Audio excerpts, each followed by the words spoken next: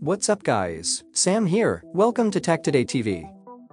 The Sony Xperia 1 IV was, in many respects, one of the most intriguing smartphones of 2022 because it contained unique characteristics. However, the Sony Xperia 1 V has a number of flaws and is very expensive. As a result, we've outlined the adjustments we'd want to see made to the device. However, before that, we've provided information on the potential release date price, and specifications of the Sony Xperia 1 V. Although we haven't heard much just yet, We'll be sure to update as new leaks and rumors come in. We can't be too sure when the Sony Xperia 1 V will launch, because Sony hasn't been very consistent with its Xperia 1 line releases, but a release date leak claims it will be unveiled in May and go on sale in June. If the aforementioned rumor is accurate, the Sony Xperia 1 V may follow a similar schedule as the Sony Xperia 1 IV which was unveiled on May 11 of 2022 and released in UK stores on June 16. However Australia didn't receive the Sony Xperia 1 IV at all,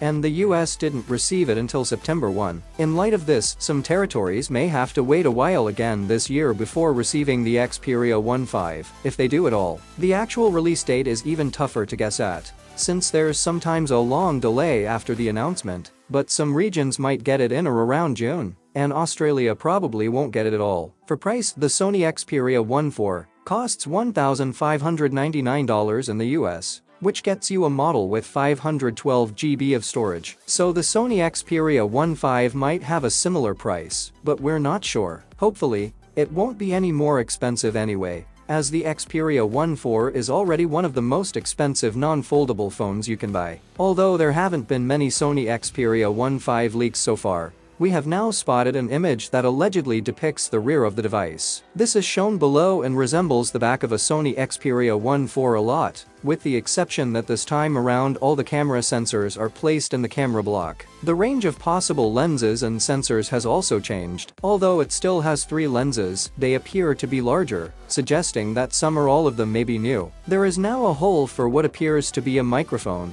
but the RGB-IR sensor and the TOF time of flight sensor found on the Xperia 1 IV are nowhere to be seen. However, we would use this picture. We've also been treated to some unofficial renders of the phone in black and purple, which you can see below. A reliable source posted several images and a video of the Sony Xperia 1 V, matching up with the leaked image we've already mentioned. Again, it doesn't look as though much is changing from a design perspective. The same source also mentioned a Snapdragon 8 Gen 2 processor, 16 GB of RAM, and a 5000 mAh battery capacity. Beyond that, there is evidence that the camera might be a major focus for Sony. For one thing, Sony usually puts a lot of focus on the cameras of its flagships, but on top of that the company has said that it expects the quality of still images from smartphones to exceed those of DSLRs by the end of 2024. That suggests it's expecting big smartphone camera improvements in the next couple of years, and some of them will likely be evident in the Sony Xperia 1 V. Share your thoughts and comments below. I hope you found our content interesting, and if you did, please like and hit the subscribe button. See you in the next video.